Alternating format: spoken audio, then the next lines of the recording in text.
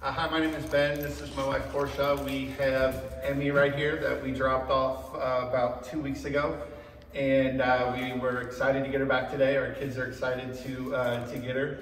Um, Emmy, sit. Nope, not gonna listen. Oh, there's a guest at the window. Yeah. Yeah. Emmy, come.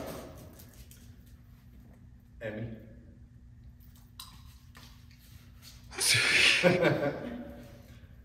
um, we're excited to get her home uh, for the kids, so the kids can see her, and uh, and then that'll be our second battle, which will be not only us learning how to do it, but having the kids learn how to train her the proper way too and work with her.